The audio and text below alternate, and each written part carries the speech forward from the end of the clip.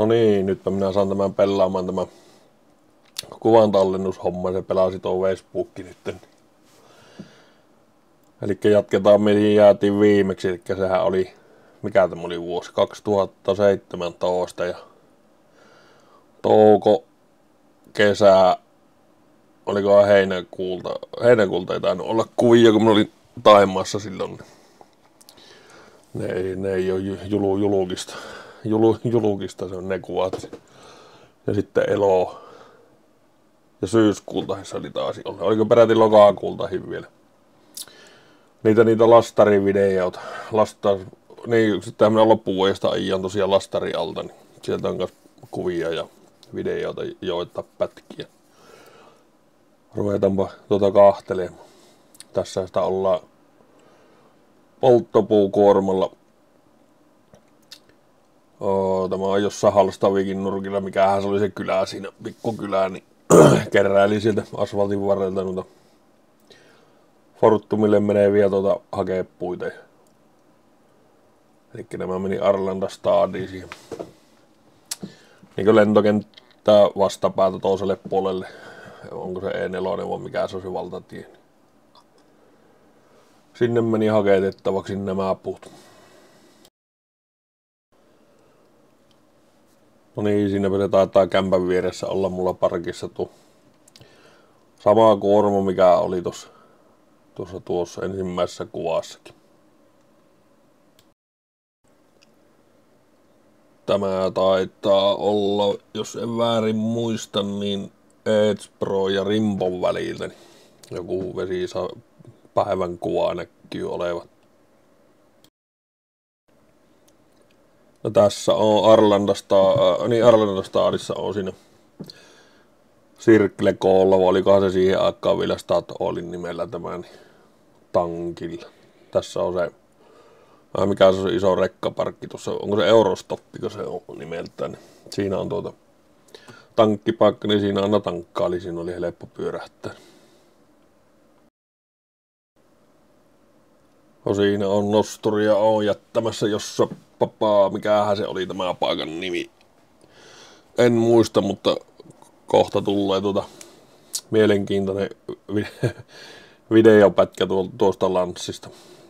Se oli semmonen peltoniittyjen läpi, vanhojen niittyjen läpi meni tuo tie tuonne, niin siinä oli hyvä pitää nosturia tuossa.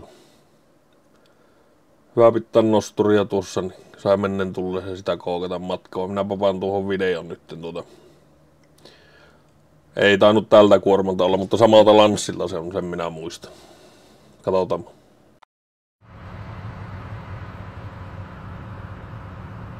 Pitäisikö Päiveli lähteä vähän kauemmas sitä hommaa?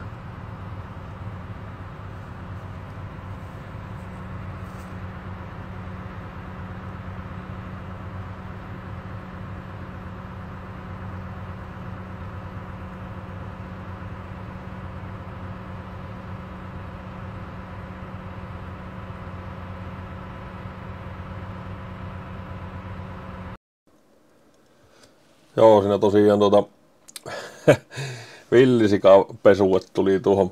Siinä oli ruokintapaikka, se kierrettiin tuo ruokinta-automaati ympäri tuota, se oli niin keskellä kääntöpaikkaa tuo. Tuo, tuo, tuo ruokinta-automaatti, niin siinä ei näe tuossa, mutta tuossa oikeassa reunassa, niin siinä on helvetin sakkea semmonen ö, kuusikko alakkaa. Ja minä tuota auton tein ja takanipun tein niin silloin ei näkynyt mitään liikettä. Minä nipun tyynsin taakse ja kärryn keulanippua sitten tein ja, ja, ja laskeudin nosturista alas, että alan sitomaan kuormaa ja kettinkejä laittelin tuota, kun mulla oli ne pikalaukasimet tuossa, niin ne pikalaukasimen laitan no, kettingit kiinni.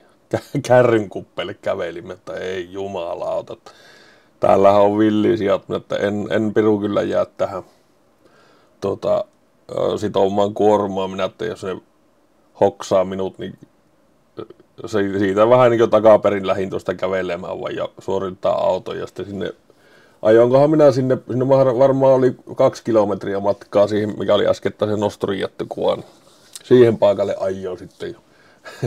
Siellä sitten on kuorma, minä että nohan on semmosia, että nehän, jos ne päälle käypi, niin Sen, sen voi sanoa, että se on morosen jälkeen.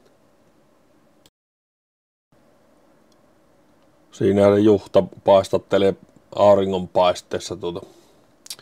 Näkyy joku tunari vääntäneellä vetosen päältä lokaasuja niin mutkalle.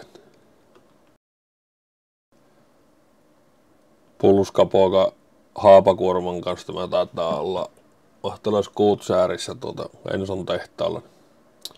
Kettingin otta paikalla. Siinä on tuota ajettu telipyörä, niin melko, melko loppu se. Se on laakerin vika alue, ei siinä ollut, ollut tota, kyllä se oli, se taisi pinnotettu rataas olla tuon. Niin, niin se pikkusen, pikkusen syönyt sisään laittaa tuossa.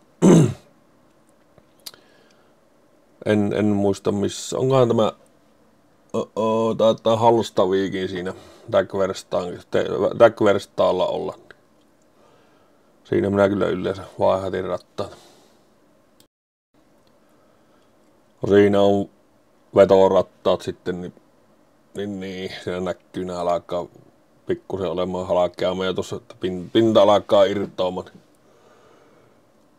Taisipa olla samalla reissulla, kun oli tuo, tuo, tuo telirattaan vaihtokin. Tilasin siihen sitten uudet vetorattaat, pin, pinnotetut muistaakseni tilasin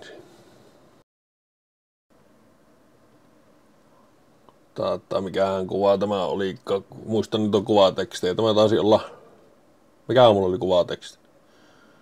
Että no, joo, kun no, nousuteli miehet ajaa tuota omia, omia polkuja. Tämä tosiaan tuolla Avesta ja Sandvinkenin välillä on tämä, se on tuossa, siinä on Forssin Stura Enson tehas on. Sinne oli tuota, muistaakseni raakit tukkikuori, eli siihen Krylpon vietiin niitä kolme metrisiä kuusi tukkia, niin jos ne siinä oli liian sinistyneet, että ne ei ottanut vastaan niitä, niin ne piti siihen Stora Enson Forssin tehtaalle käydä viemässä sitten massa, massatehtaan. Siinä taitaa joku tukkikuorma olla, onkohan tuo, onko tuo saa oikein selvä, onko tuo menty vaan kuusi tukkia.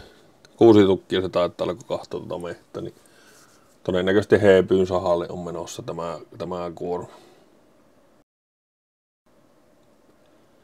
Rimpon kylällä on rengasliikkeen pihalla tauolla. Tämä on kaavan pihalta otettu tämä kuva. Kävin ostamassa tuota vähän jääkaappiin täytettä. Ja taisipa muistaakseni olla vielä, kun tämä toukokuun, niin se taisi olla M, lätkä MM-kisoja. Siellä oli joku tiukka peli, minä puhelimella muistaakseni kahtoa ottelun lopun sitten siitä, mitä kerkesin, kerkesin kahtomaan. Ei kaksiset eväät ole. Pakaste pizzarulla ja onko se viineriä vai mitä siinä on tuossa paperipussissa. Ja tuossa sitten tosiaan se Holmeni mettäyhtiön pinolaput, etelässähän on noilla pinolappuilla pelataan pelata ei ole leimasysteemiä niin meillä, eränumero on niin samalla lailla kahdeksan numeroa. Tosiaan ei sitä ole sitä neljää numeroa käytössä niin kuin meillä on, että se on tuo pinolappu on oltava, oltava kuormassa, sitä ei saa muuten mitattu. Näitähän ne kuvia sitten on, kun minä olen, muistan tuo naputtelemalla laatu, että saan kaikki kyyttiin, niin vähän sujahti nuo tolopat, niin, niin, niin jos minä joudun sitten purkamaan itse tuonne välivarastoon, niin sieltäkin on kuvia sitten kuormasta, kun ne vähän sojottaa ulospäin tolopan nokat, kun se on tosiaan, se on niin pieksämällä laitettu rehellisesti sanottuna. Kuormanen niitä on sitten yhden, yhden tota, joka pellistä tekee taloppia, niin sen, sen kuvissa näkyy niitä niitä, niitä kuvia, että var, varoituksina, että miten alumiinitolovat taipuu ulospäin. Jätän asian vain tähän nyt.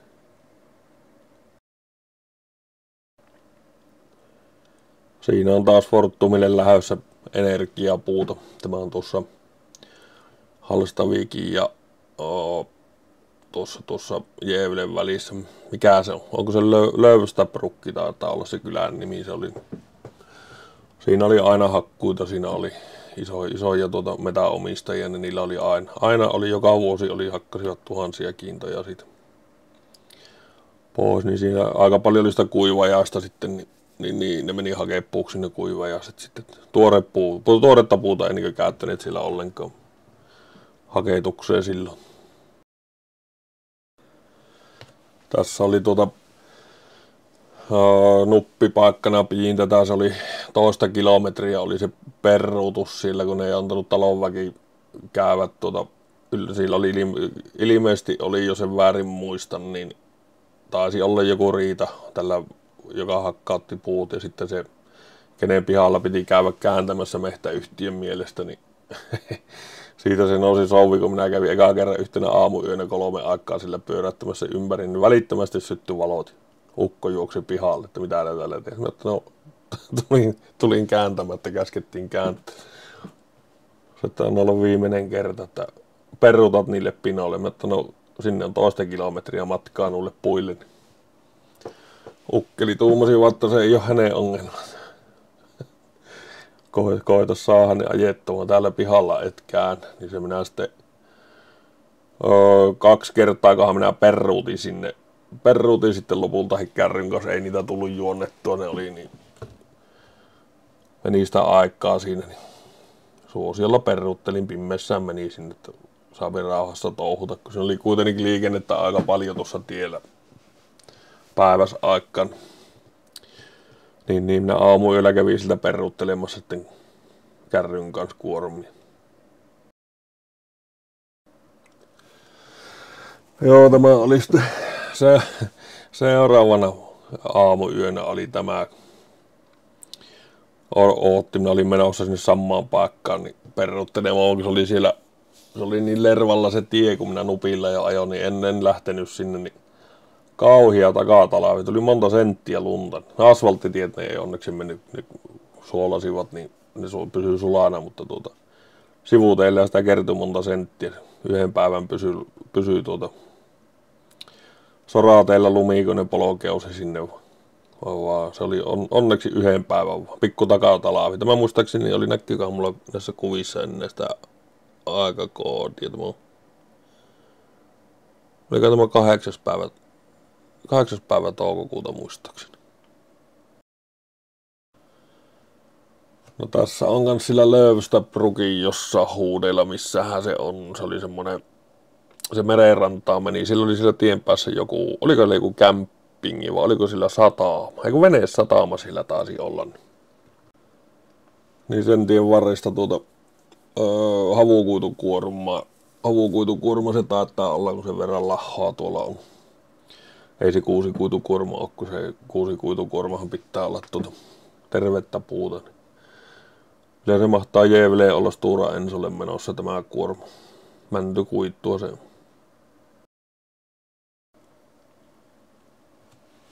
Tässä keräili, jotta tuota, mikähän sahaa se, olisikohan se, niin mäntytukkia keräili, eli ny, Nyypyysahalle on siinä Uppsala yläpuolelle.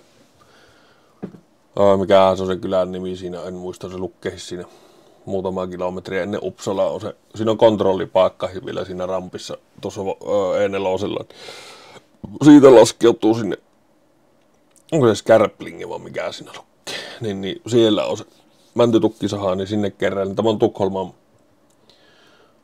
oh, olisiko val, Vallentuuna. Tämä oli ottaa puistohakkuita, ne hakkasivat siellä. Keräili sieltä, sieltä, sieltä kaupungin laitamilta näitä pikkunyssäkäinen. Tämä ei muistaakseni jo se, mitä se kuvateksti oli. Koska tämä oli joku neljän viiden erän kuorma, kun keräili, keräili ympärissä sieltä. Niin. Siinä vaan Lahallasta viikissä niin kämpän virestä lähöllä joku aamuyöhän tämä tieteni on. No siinäkin on ha- haapa, eikö mikään sinne lehtikuitukuorma, se tai ei siinä haappaa tai koko kuorma olla.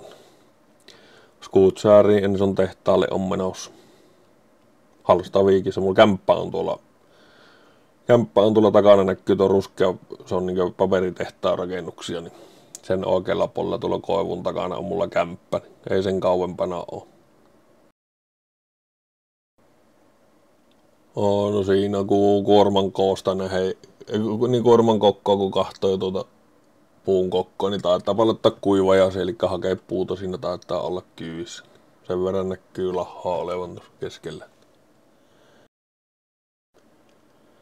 No, tämä on sieltä Nyypyyn sahalta, mistä äskettäin sanoin se Uppsala yläpuolelta. Niin siellä oli aika, aika harvalla sahalla oli highlifti koneet, en tiedä minkä takia. Niin. Minkä takia niitä ei ollut, mutta ne oli kyllä valtaosa oli näitä. Miksi, miksi näitä nyt sanoo pihtikonneeksi? No siinähän taitaa olla taas Kuutsäärin massakuorma Jevleen lähöllä. On, niin tämä on päivällä kuvattu, niin se varmaan on tuota päivä jo taas ollut tuossa vaiheessa. No tässä on saavuttu Kristiinen Hammiisti, että hu- huolto- ja remonttihommaa varmaan tekemään. Pesty, pesty on ainakin, sen, näkee, sen verran kiitelee.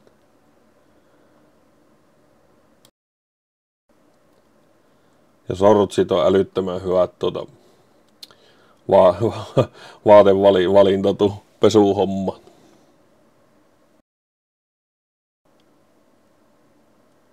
Joo, ja sitten sitä rung, rungon pesuhan se on, kun se alkukessää oli. Tai rungon välinpesuun. Sieltä lähtee melko, melkoinen määrä tuota hiekkaa pois. Epähankavu ilmaletkut ja no, no, sähköjohot siellä se on semmoinen hioma paperi tuo, tuo, tuo hiekka kyllä tuolla rungon välissä. Tämä on Edge Prossa tämä no, nokka on tuonne Halstavikkiin päin. Oli kaveri tuossa Taavelkoskelta ajamassa, niin se lähti tuota juhannuslomiin.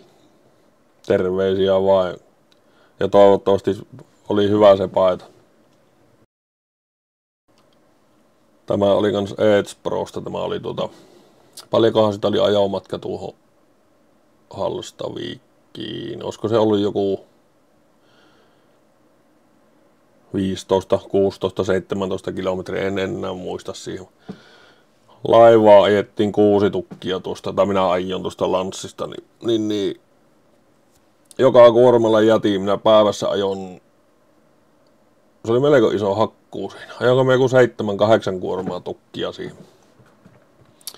Siihen, siihen laivaan silloin päivässä, minä ajoin varmaan kolme päivää vai neljä päivää, niin joka kuormalla jätin nostorin pois. Se oli niin paljon helpompi sillä satamassa kuin ne sillä, sillä, sillä. materiaalikoneella nostelivat suoraan laivaa sitten tukit, niin tuota, ei vähän tarvinnut olla kääntelemässä ja nostelemassa tuota puomia ylös. Ilme kertoo, mitä mieltä on kelistä. Ja nyypyyseenhän siinä on lähdössä mäntytukkikeikka. Siinä se minun kaveri Halstaviikista. Purettiin tuota laivapuskurin tukkia tuon sataan, tai kun se tehtaan pihalla tuo, tuo, tuo pino, niin se piti siihen purukkaan niin, niin korkealle kuin saa vain. Se oli melko magian näköinen tuota kuusi tukkipinosti. Laiva kun lähti, niin tämä oli sen jälkeen kun laiva lähti, niin siinä ajettiin vielä lisää, kun se tuli sitten. Tuli vielä pari viikon päästä uudestaan sen laivan, niin piti saada metästä ne tukit pois. Melko kommea oli tukkipino sen tehtaan pihalla. Tämä on sitten Uppsalan Scanian pihalta tämä Piilmetrolast Piiler.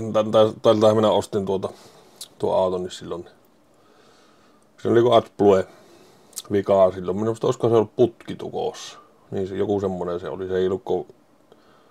Joo, joo se taisi olla se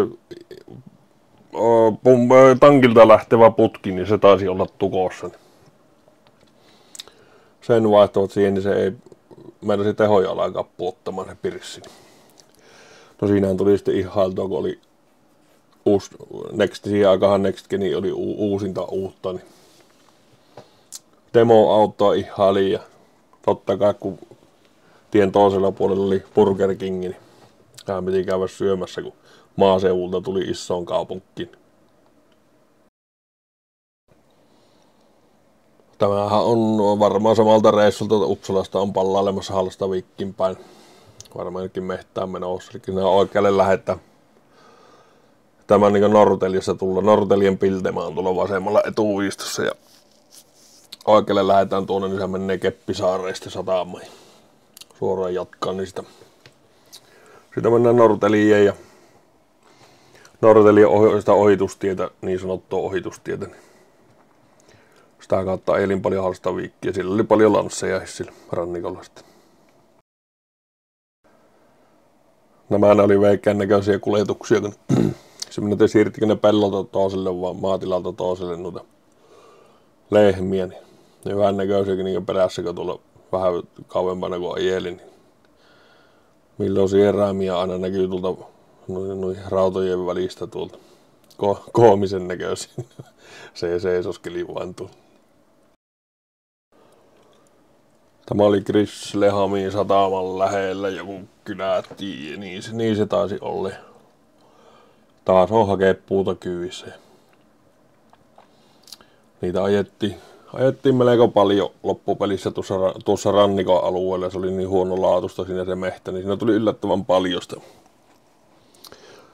sitä siitä energiapuuta. Eli se on niinkö, onko se Brandweedhän se taisi olla niin nimi, nimisortimentti ja sitten uh, 590 oli tuo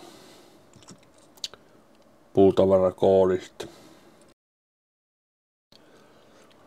Tässä on, se on, e, on se Edspron ja uh, Uppsalan välissä semmonen kuin Lännälot oli sen kylän nimi. Siinä oli isot harvennukset oli. Siitä, siitä aion. Ja en ihan varma, olisiko taisin ihan yhden viikon ajaa tuosta samalta tieltä. Siinä oli nätti, nätti tuota, se näyttää tuossa kuvassa, että se on vähän mäkkeä, mutta se on tasainen paikka. Niin, niin siinä oli hyvä se kurvissa pitää nosturia. Tarvinnut, kun siellä, kun siellä ei käytännössä, kun siellä ei ole mihin jättää nosturia. Ja paikallisilla, kun on kiinteät nosturit sitten, niin, niin, niin se on pakko me tässä säilyttää sitä nosturia aina kun vaan on, on vaan mahdollista. Ja Siinä on heepy, kuusi tukki kuorma lähössä jostakin päin sitä rannikkoa. En, en osaa kyllä sanoa, missä, missä tämä voisi olla. Jossain se Halstavikin nor, no, Nortelien välillä. No, tässä on taas Kristiine Hamissa käymässä. Sen, sen verran tuota tuninki, että laitan noin tuuliohjaamin pikkusen punaista ja keltaista lamppua niitut. Ei ihan näytä tuota postnurti autolta, kun vastaan tulee. Ei mitään älyttömästi, vaan pientä, pientä karkkia kuitenkin. Tämä taisi olla viimeisimpiä kuormia, kuormia ennen kuin lähdin silloin Taimaan reissulle.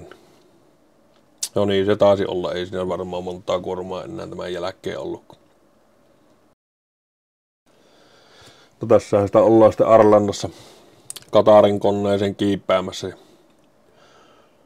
Lensin, äh, Arlandasta lensin tuonne, tuonne tuon Dohaan ja Dohassa oli sitten tuota yöllä, se oli niinku paikallista aikaa, koska se että yhden aika ollut yöllä se vaihto.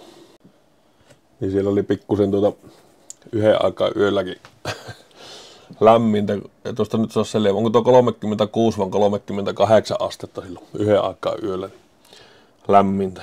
Minä muistan silloin palluun matkalla, niin palluun matkalla sitten, niin se oli keskellä päivää se vaihto mulla Dohassa. Mulla piti kolme tuntia sillä kentällä ottaa ja, ja, ja sitten päästiin koneeseen ja mentiin istumaan siihen, siihen, siihen koneeseen mentiin istumaan ja minä en muista mikä siinä oikein värkkäytti siinä lähössä. 20 minuuttia seisottiin siinä, siinä, siinä kentällä niin koneessa, että se ei ollut käynnissä, niin kaikkihan tietää, kun kone ei ole käynnissä, niin siellä ei myöskään ilmastointipella. Ja minähän näppäsin ruutu auki, mulla ei siitä ole olla valokuvaa ja ainakaan Facebookissa en löytänyt sitä. Niin, niin, niin. 48 astetta muistaakseni näytti lämpötilaksi silloin, ulkolämpötilaksi siihen kentälle, niin sen tietää tuommoisessa putkessa, kuin se on lämmin, kun siellä istuu montako sattaa ihmistä, se on 737, kun se on se kone, niin tota, mikä lensi Dohasta tuonne, tuonne tuon öö, Arlanta. Sen tietää sen, kuin tukalla silloin istuu. Doha Bangkokki väli oli Airbus A380, eli maailman suurimmalla koneella. Siitä ei tainnut mulla kuvia olla siitä. Siitä ei ainakaan löytynyt tuossa Facebookissa. Sitten tämä on Taima, mitä minä olin silloin. Oliko me melkein kolme viikkoa Taimassa, niin voi sanoa, että ei, ei maistunut ensimmäinen, ensimmäinen yövuoro. Toinen näistä on ostettu kätteisellä.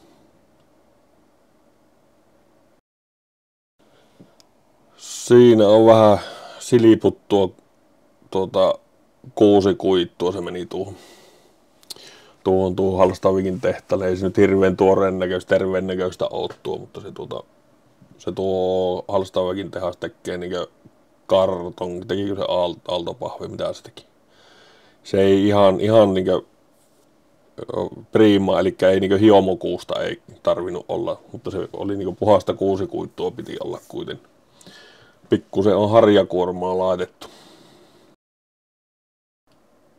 No siellä sitä kanssa ajettiin näitä kolmimetrisiä, no, voi sanoa, että 95 prosenttisesti oli kuusia ja tämähän pikkusen niin näkee tuosta niin paljon niin järeämpää läpimitaltaa, mitä on täällä meillä nuo männyt.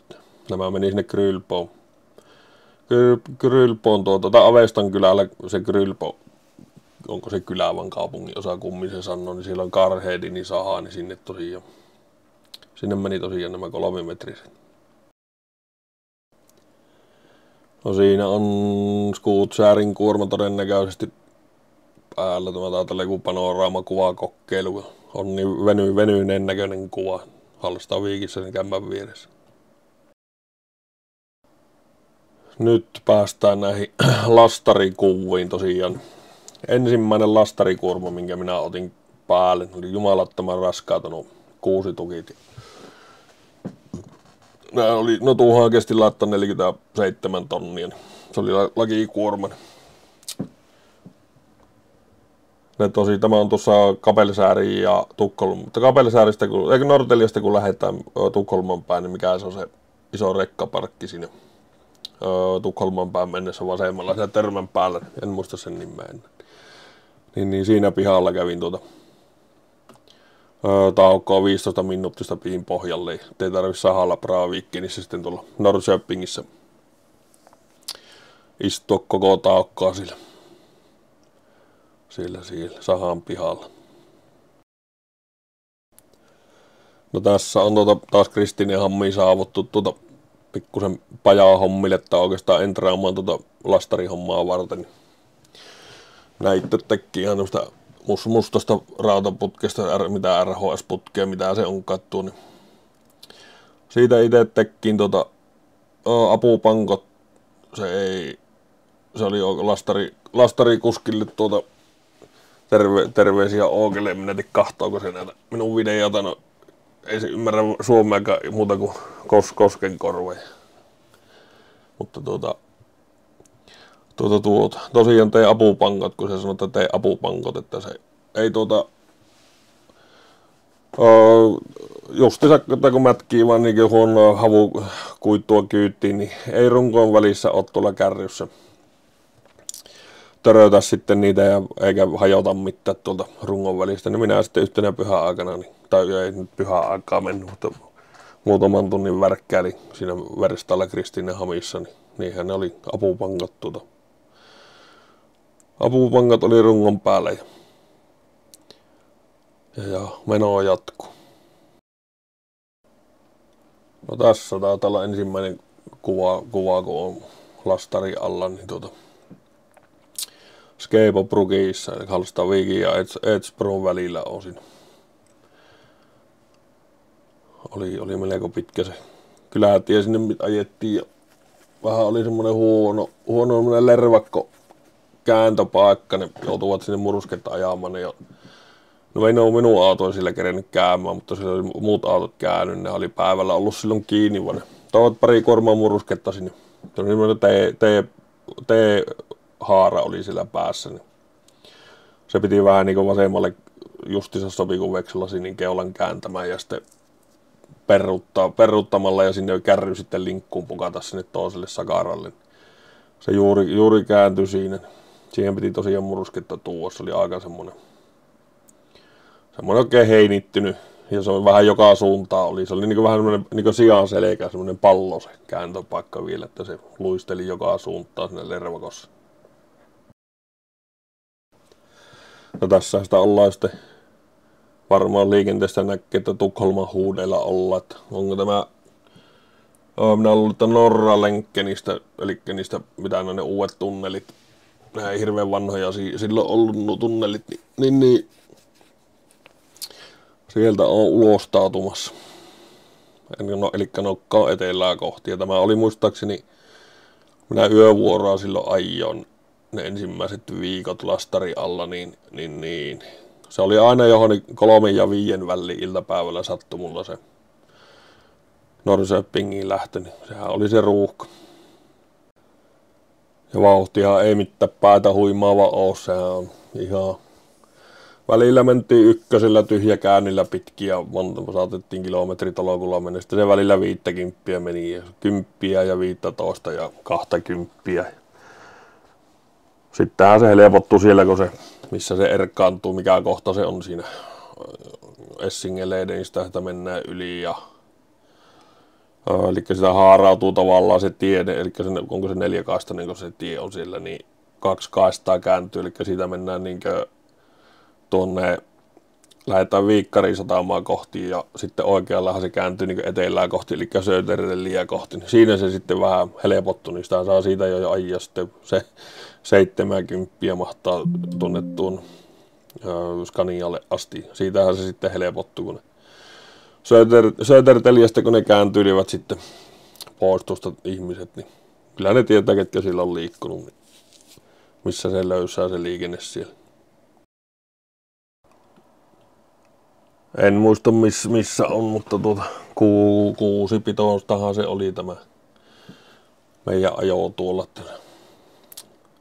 Rannikolla siellä ne ei muuta kasvanut kakku kuusi. Tässä on sitten purkupaikalla tuossa Heepyyn sahalle. Siinä oli, oli hyvä saha käyvässä, vaikka siinä oli, oli tuota, aika paljon oli autoja aina pihalla, mutta tuota, siinä oli nopeana takana oli vain mittakoppi ja siinä tehtiin paperihommat ja sai kettingit ottaa siinä kopin vieressä pois. Sitten vaan nyt käytettiin tuohon vähän eteenpäin, niin se, se joko purki suoraan pöydälle tai sitten tuonne auton taakse tuonne kentälle pisti välipuilla erotteli sitten ne kuormat.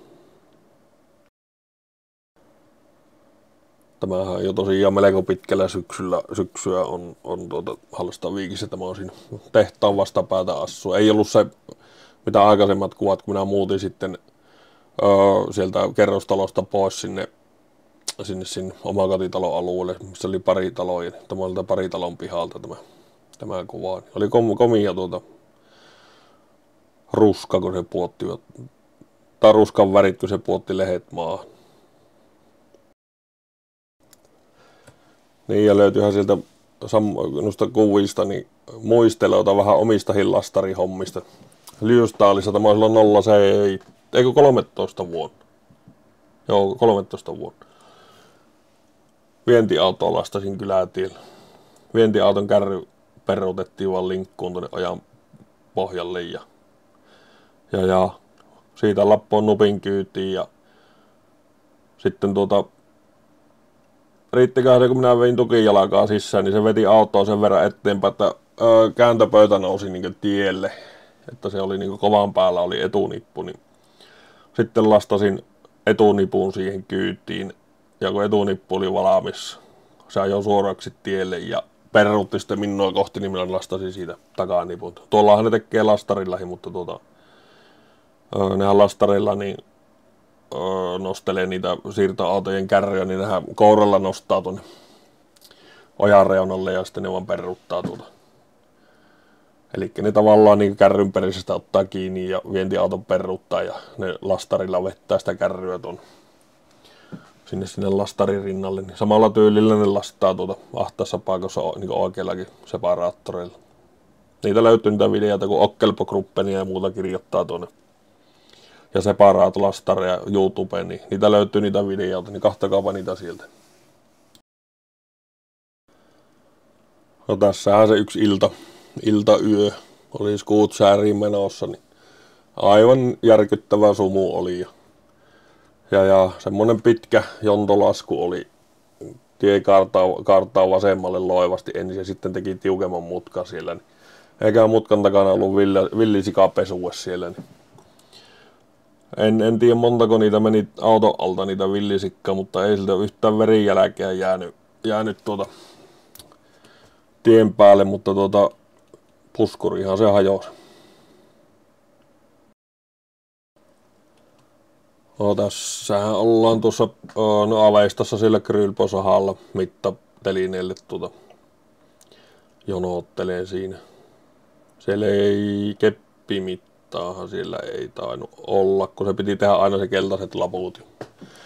Niitottiin sitten ne päihin, eli ne tulosti sen öö, vatti tositteen neljän viimeistä numeroa sen keltaiselle lapulle, niin kuin täälläkin tehdään tulee meillä, niin on, on näyttänyt omilla videoilla. Sama, sama systeemi. Sehän on sama systeemi joka paikassa. Laput voi olla vaan vähän erilaisia. Apuhenkilö alkaa löysäämään kettinkejä kuormasta. Tämä on tuolla, tuolla tuolla Jäylässä Pilleryt Korsinesin tehtaan vieressä on se Setra saha tuo. Kastet on se sahan nimi, Kastet Sokverkki. Niin sinne tuota pikkutukkia. Nämä on ihan Halstavikin kylän kuppeista ajettiin noita pikkutukkeja. Minä muistan, tämä oli pikkusen vajaa seitsemän minuuttia, kun se nosteli, nosteli lastarilla tämän kuorman. Eihän sitä montaa viikkoa keretty ajan lastari alta, niin se lastari, lastarikuski lähti hirveän mehtuun lomalle viikoksi, niin sehän piti yksi viikko ajaa sitten omalla lastauksella. Se oli mulle sikäli hyvä, kun minä pystyn nosturin perään laittamaan, vaan niillä ei ollut nosturi eikä normivientiautoja. Niin, niin, niin, niille ne oli vähän kahtelu sitten, minkä lastari alta ne kävi hakemassa kuormia, että ne joutui, joutui lähtemään vähän niin kuin evakkoon. Minä sain pysyä omalla alueella, kun mulla oli oma nosturi. Niin, ja sitä on palattu taas lastari alle, että hirvet on, hirvet on tuota tapettu. Van, vanha meno ei kun jatkuu. Mulla mahtaa kohta alkaa olla tuota muuten itse asiassa, tai on niin viimeinen kuva, niin näinpä tuohon laita loppuun, niin pari videon pätkää tuosta lastaushommasta.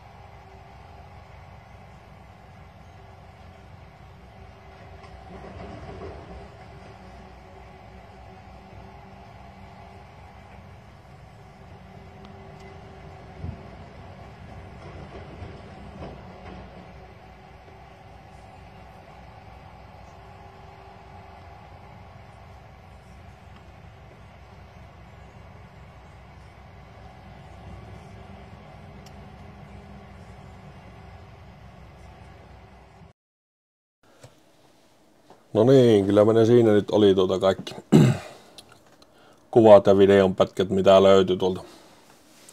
Ja nämä tosiaan niin kuin näkyy kuvasta, niin puhelimella kuvattuja, niin nehän pysty, pysty kuvia kaikki videot, niin tuota, niillepä ei nyt voi mitään. Se ei kärsi kuvan laatu, kun ne alat venyttämään. Tulee niin pikselisiä kuvia, niin en ala niitä sen kummemmin mulukkaamaan menkö tämmöisenä, niin näkyy ainakin terävänä kuvat. Sen, sen näkee mitä näkee niistä, jos, jos niistä selvää saa. Ja se on se arvontahomma tosiaan, niin minä en ole tälle viikolle kuvannut vielä mitään, vaikka keskiviikko on, niin, niin ei, ei ole ollut nyt oikein ma- mavullaan. Tuota, tuota. Minä, minä kerran kuitenkin tämmöisen klippihomman, niin kun tämä kerran nyt onnistui. Niin, niin. Se arvontahommahan se ei, ei noussut, noussut tuota jalakelle, ei kerennyt tulla, se jäi 55 tilaa ja vaille se 4000 ja ö, nyt viimeisen päivän iltaan mennessä, niin se ei, ei, ei nyt toteutunut, mutta katsotaan, katsotaan jos nyt alkaa noita tilauksia tulla, niin kokeillaan sama arvonta, niin vi, tuhannessa vetää kerralla sinne asti tuota tuo, tuo, tuo rajapyykki.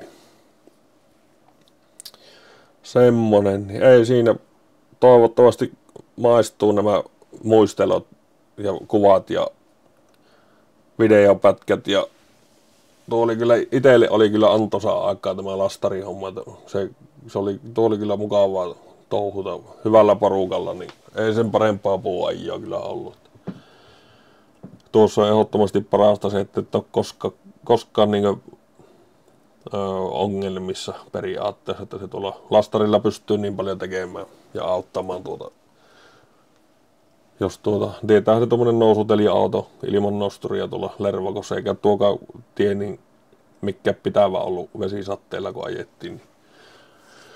Niin, niin, niin se, se tuli lastarilla työntämään, joku ei päässyt liikkeelle. Että tai nipusta antoi työnsi vauhtia sen verran, että vähän heijasi ja se puomilla työnsi kaverina vauhtia. Ja sitten jos se pysähtyi johon, niin lerva nousuun, niin se tuli lastarilla, kun se on se levy siellä perässä, se, eli millä tasataan tie. Niin.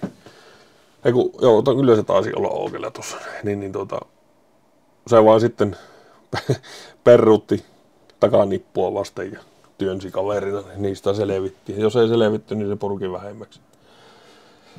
Ei se sen kummempaa hommaa ollut. Niin ja tästä lastarihommasta, niin että miten lastariauto saapi öö, tiliin. No tietenkin jos omalla virmalla touhut, että omassa virmassa on lastari omat vientiautot, niin silloin ei tarvi niin lastariautoa ilmoittaa, mutta tämähän, tämä oli kans Vestani ajoa. Eli missä on nytkin täällä, niin tämä oli pilottihomma, eli se halusi kokeilla tätä lastarihommaa silloin tuolla ö, Uppsala-alueella. Ja siihen kerättiin, niin kuin, nämä oli melkein kaikki nämä vakio-autot, nämä oli mehtäautoja, ketkä ajo tämän lastarin alta.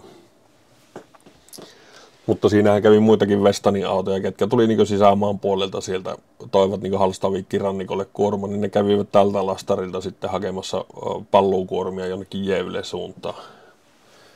Niin tämähän lappo, lappopäivän aikana, niin se riippuu miten autoja kävi, mutta semmoinen no sanotaan 30 kuormaa, niin ihan, ihan semmoinen helppo päivä.